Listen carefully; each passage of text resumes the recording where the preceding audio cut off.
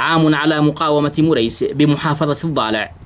استطاعت فيه مسنونة بالجيش الوطني أن تحقق انتصارات على الأرض فأحكمت سيطرتها على المنطقة وأوقفت تمدد الميليشيات نحو الصدرين وقعطبة وتلاشت فيه أماني الإنقلابيين.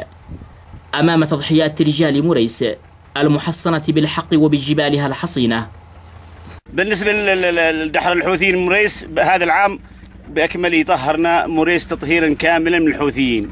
لم نمسك مواقع؟ بل طهرنا مريس كان الحوثيين موجود في معسكر الصدرين وكان الحوثيين موجودين في مريس بعد سقوط دمت أعلنت مريس النفير للذود عن الأرض والكرامة وتداعى معها رجال المقاومة من دمت والحسين وقعطبة وشكلوا كتلة حديدية تحطمت أمامها أحلام الحوثيين وصاروا يجرون ذيل الهزيمة.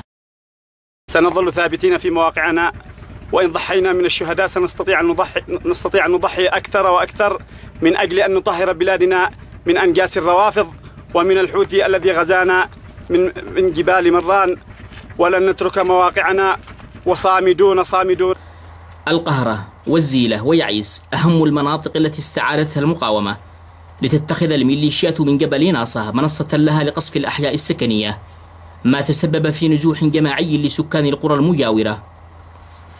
إيش عملوا من إنتاجات غير زرعوا لنا الالغام بالأراضي؟ ولا عملوا لنا غير التفجير والتدمير. على الشعب اليمني أن يصحى. على الشعب اليمني أن يشوف إيش أنتجوا لنا. إيش عملوا لنا من أشياء في اليمن. الله أكبر. قبل عام كانت مريس على موعد مع النصر.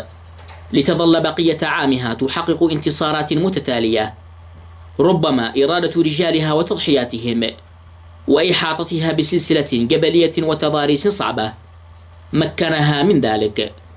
عبد العزيز الليث يمن شباب الضالع.